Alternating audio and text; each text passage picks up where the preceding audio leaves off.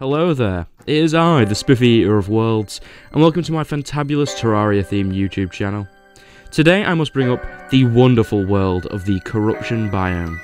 As you may know, it is very spiffy, and has a massive amount of lore and unique items. So sit back, relax, enjoy a nice warm Yorkshire tea brew, and eat plenty of corruption themed biscuits. Enjoy the video everyone.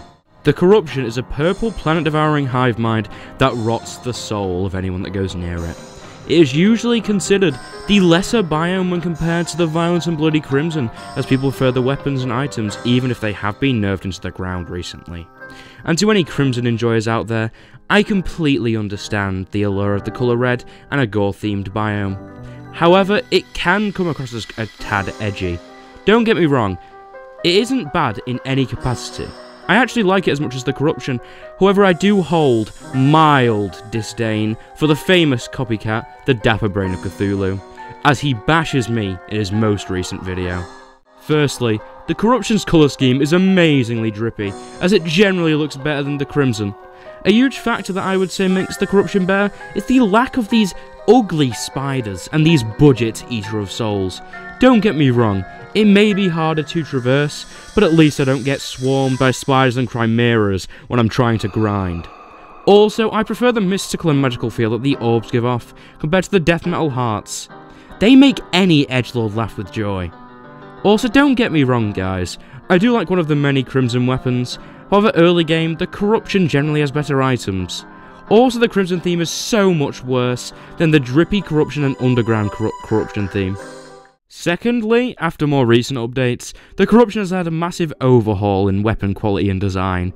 Sure, if this was 1.3, I'd understand why people preferred the Crimson weapons, as back then, they were definitely better.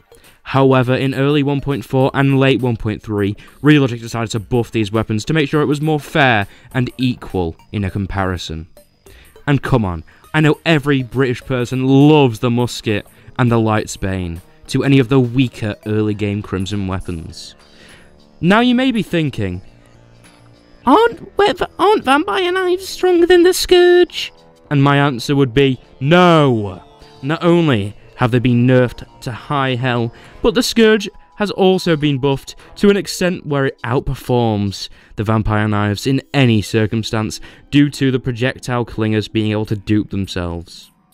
And to be perfectly honest guys, I usually play on Master and Legendary mode, where the Vampire Knife's healing means squat to the bosses. Also, the Dart Rifle and Chain Knives are heavily underrated. Not only does the beautiful Dart Rifle do 2.5 times the amount of damage that, th that its Crimson counterpart can do, but it also scales better with darts. And come on, the dual Chain Knives buff has made it insane for early hard mode melee users. Now, Ichor isn't bad to any extent, however most players only use it for debuffing the bosses, then they switch to better arrows. Sure, it lowers the enemy's defense, but a high armor penetration can also provide the same benefits, to a higher extent in some cases. Also, any item coated in Ichor like arrows or bullets generally deal less damage than the epic Cursed Flame variants, so they are pretty interchangeable in any circumstance anyway.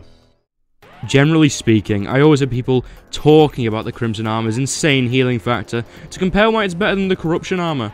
However, they neglect to take into account that most new players, or any people in general, are melee users or rangers. Both of these classes benefit from the 50% increased movement speed and crit rate. The increased acceleration rate on top of that makes it much better.